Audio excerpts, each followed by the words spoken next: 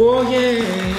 What's up, y'all? Devin the Dude in here. This is the Devin the Dude show. Check this out. They done fucked around and gave a nigga like me an uncensored show where I can smoke, drink, and have special guests, man. Today, today's special guest, Slim Thug in the house. Thug up. What up, Motherfucking house, man. We out here, man. Good. Congratulations on the show, man. Oh man, shit, I appreciate it, man. You know what I'm saying? We just, you know what I'm saying, get our feet wet, you know what I'm saying? About to dive in in a little bit, man. But, you know what I'm saying? Much love to all the people out there, man, who kind of requested something like this. Much love to Snoop Dogg, much love to B-Real with Smoke Box, man, and all, all the forefathers and all the people who've, been doing this too, man. Just made room for a brother like me to try to see what is happening, man. Let me smoke that joint while you find it. Mm-hmm. Uh, Rebecca from Memphis Mm. want to know when was the first time you got some head? Oh, man. The first time I got some head. That's a good one. I don't know if the first time I lost my virginity I got some head. I can't remember. I do remember uh, when I did, I lost my virginity at 12, and there was a chick who actually um, had a baby like two, three months before that or whatever. So I remember it was funny because I remember I downed her, and then I guess I bust or whatever. And she was like, "You busting me?" I said, "Man, I don't know how I feel." I ain't know, I ain't beat my beat before that. I just jumped out there like I was ready. Oh man, but on the cool man, I ain't no, I ain't surprisingly, I ain't no big head fan, man. On the cool, like Yeah, she could. I don't know why they asked for person. Shit, Yeah. man. It was there, no, man. I ain't no Just- big head fan. I probably got it then though, but I don't know. These Instagram people, man, they be tripping, man. I don't know what the fuck. I can't tell everybody what we're doing because they gonna ask some crazy shit. Oh, one, one person asked, man, about uh, working with Pharrell, man. We were working with Pharrell, Beyonce, and all the big names people. You've been featured on a lot of cool Yeah. tracks. You know what I'm saying? I know why you've been featured on there, man, but they would like to hear from you, man. You know what I'm saying? Wonder why. You know what I'm saying? Oh man, H-Town representative like yourself was chosen to be on some, you know what I'm saying? It was that's that Houston movement, man. And when we came through, you know, uh, with the Still Tipping, it was just like everybody was on deck. You know what I'm saying? It wasn't well, not just on. You know, everybody was showing love. Well, you, you know what I'm saying? You know that Yeah, mean, you know. that's just slang, you know. But Yeah. you know, first of all, Skateboard P came hollered at me when I had went uh, talk with Interscope, and you know, he was like he wanted to work with me, man, and you know, we got together and made some music, man. I love the music we made together, and you know, and then after that, he kind of slid me through the door with uh, Gwen Stefani. She had Oh, did a, real. she had did a, a that song, um, you know, that song we did. She did that with Ludacris at first, and then she gave me a shot to do my verse. So we ended up going with that. That was a blessing. Oh, man. And then me and Beyonce got check up on it. Uh, that was oh, that ended up. I did a, a show out here in Houston. I think it was the last Destiny Child show they had at the Toyota Center. They was like, come out and do Still Tipping. So I like, bet I came out, did my verse. They called me like the next day, like, hey, we want to get you on this album, but we got to turn it in like the next day or some shit. So you like, can you do a verse real quick? So I did like two verses to two songs, and one of them was check up on it. Shit, we got that check. We were number one. That's it. You killed them when I, I was looking at you. Hold up. When I heard you on that, that chronic, I was like, hold up, that boy Devin and got with Dre. Oh man, oh that was that, That was, was that was huge. That was huge, That was- actually, I thought Rico was tripping. I thought Rico was tripping, man, because that's how Rico became my, ro- my, my, my manager. That's how Yeah. Rico became a manager, man, because.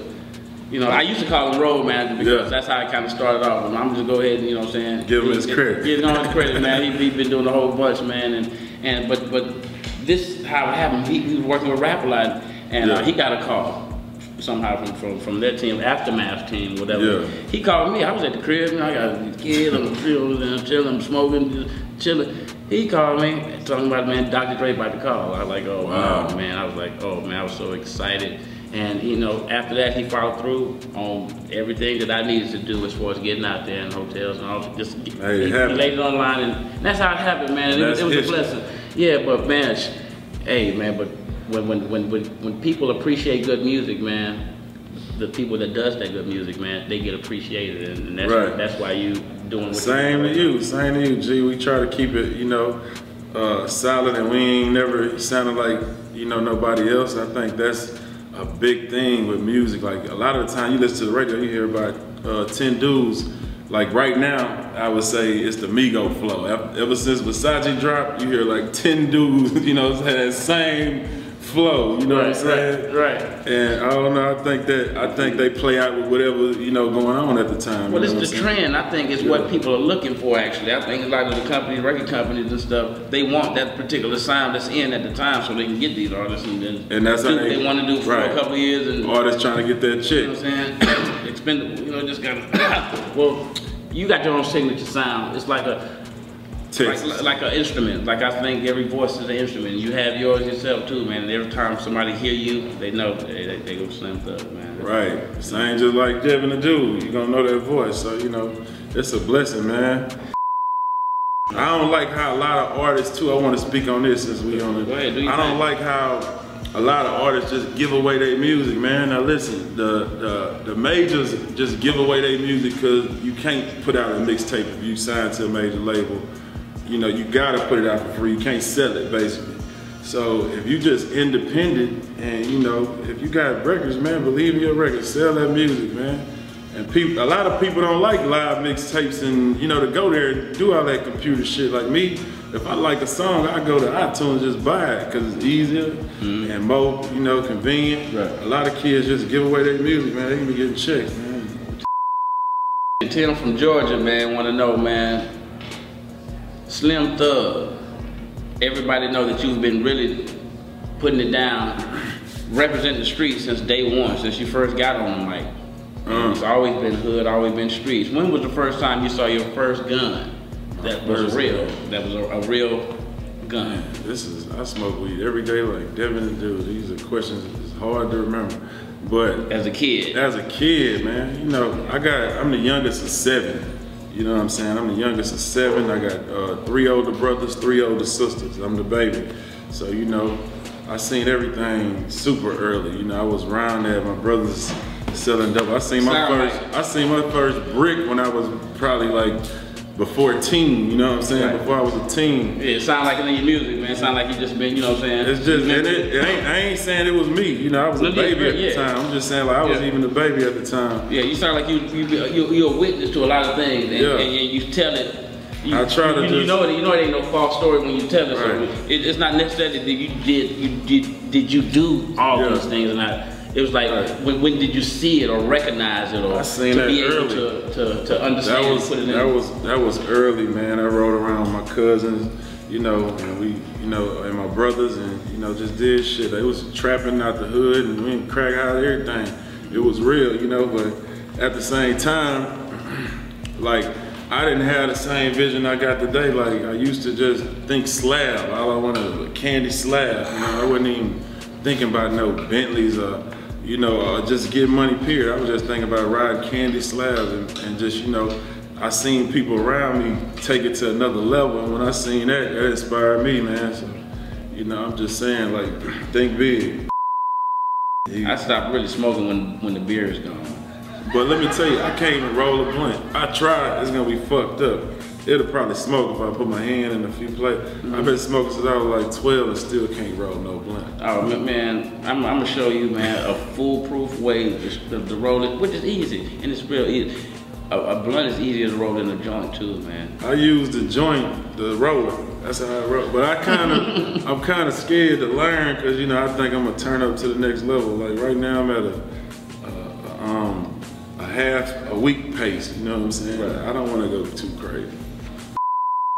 Oh man, me and Ro, we got a mean motherfucking album. Yeah, much love to roll, man. Y'all, y'all always been working, man. Y'all Yeah. always, man. Y'all, y'all chemistry, man. Good chemistry. Y'all, y'all can do two or three albums Yeah, together he right make now. them dope ass, Yeah. them hooks, man. He just, you know, solid with that Mhm. and bring that melody to the game. So Yes, sir. just throw, man. Yeah, but me and Ro got a whole album done. I got a new record I'm finna drop called Hogg Life. Uh, it's like street though. It ain't got no singles to it or nothing. It's just, you know, some shit I wanna throw out there. Just, I'm gonna do a real album after that. I already did some with Mustard and Ty Dolla. So, you know, Okay. we working, You man. Mustard on that beat. I thought it was something else. but- Got a mean one. That boy, that guy. that boy got to Mustard beat. getting that check, man. Yeah, man. That boy, he all over the place, man. That's all you hear. Mustard on that beat. Man, make a beat, man. Get that check for real. That shit is. Oh, what's in the box? Box! What's in the fucking box? Oh yeah. All right, man. Hold up, man. Man, the four box trivia questions, man. Okay, check it out. Box number one.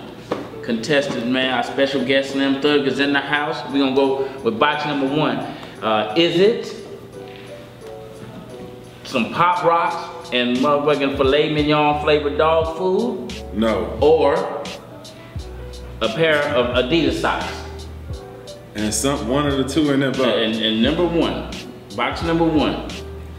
Doot, doot.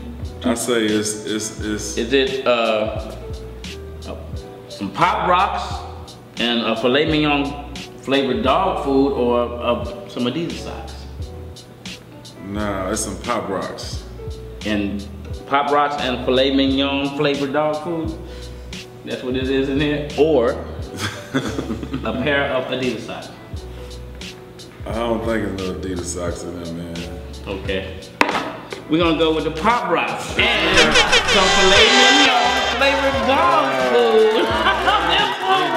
One, for one. Where y'all find that? Oh, that one is wild. Some filet mignon flavored dog. Oh, but I know y'all would do Hey, some but you, you got it right though, man. See, I'm talking about that boy real. Number two, box number two is a set of false teeth or a baby turtle. Fuck that, false teeth in there. Absolutely right. One, two, three. What? Oh man, come on, man. Only hey, they can't fuck with gel, Thugger put now. the turtle in there. They cannot fuck with Thugger. I know we should have cut some holes in that motherfucker. Oh, I was about to say y'all wrong. If we cut holes in there, we would have would have fell for the turtle shit. Yeah, that's wrong. All right, Slim Thugs in the house. Y'all check this out, man. Down to two boxes. Yeah. He's two for two right now, man. Come, Come on, man. I I'm don't- get a I'm this out. competitive, man. I got a shine on one. Box number three. Do we have a Kendrick Lamar CD or a stapler made of sushi with peanut butter and jelly? Damn. Can a CD fit in this motherfucker? uh, You can get another hint. I'll give you another hint. give me a hint. Is it a stapler made of sushi with peanut butter and jelly or a Kendrick Lamar CD with his new hot single on that motherfucker? It's the staple. A stapler made of sushi Yeah. with the peanut butter and jelly. And with peanut butter and jelly. Yeah, that's what it is. Oh man, you got music in your car? Cause it is. Sushi stapler Oh, with some motherfucking peanut butter and Yeah, jelly. That boy there is not tripping, man. Y'all can't cannot thug dog. Oh man, Oh, man. y'all can't fade that boy. Come on, man. Let me get this, Check this, this this out. dub right quick. Box number four. Yeah. You know what I'm saying? Box number four, man. Here you go. Three for three, y'all. Can you believe it? Come on, this is not set up for nobody to get four in a row. So I've been praying a lot, man. I pray every day. I read a little Jo- uh, Joel Osteen prayer. Oh yeah, man. he's, he's raw too. I like Joel Osteen. Man, you can listen to him, man. You can make, you know what Yeah, he give you some game every day. Yeah, man. His smile and his eyes and it's just his friendliness and Yeah. talk about his wife. My wife just, Yeah. you know, He she think about beside me. Man, we selling out stadiums, man. Oh, you know, we got a stadium every Sunday. I mean, that's you know, they love us. Ooh, cool, man. Giving that game. Come Box on, number four. Let's and get here it. we go. Without a delay. Box number four. Is it the world's smallest plunger Hmm. or a 16 ounce Bud Light in a can of anchovies? The Bud Light and anchovies. Is that your last and final answer? Yeah, that's my final answer, man. well, no, I thought we were gonna have history up in here, man. But it's a Bud Light in a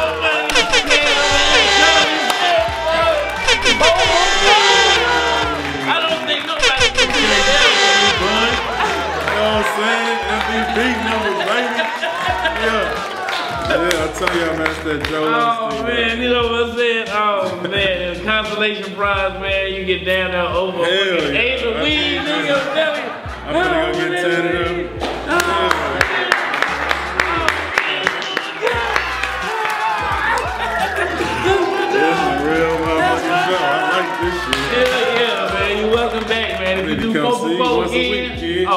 Come on, the prize gonna get bigger and bigger. Yeah, man, hell yeah. You know what I'm saying? You gonna walk around, you gonna walk out this motherfucker with a quarter pound. That's weed. what I want to do. I'm tired of spending money on weed. Let me do this every week. yes, sir. Yes, sir. Well, well, check this out, man. It's been wonderful, man. I appreciate your time. No problem, patience, man. Appreciate you. Slim Thug, man, ladies and gentlemen, Yes, man, on the. Devil Dude Show, man. CBTV, man. Coffee Brothers, man. Smoke. Hey. Until you can't. Check this out, man. Stay blessed. Much love, y'all. Oh, yeah. There it is. Yep, yep.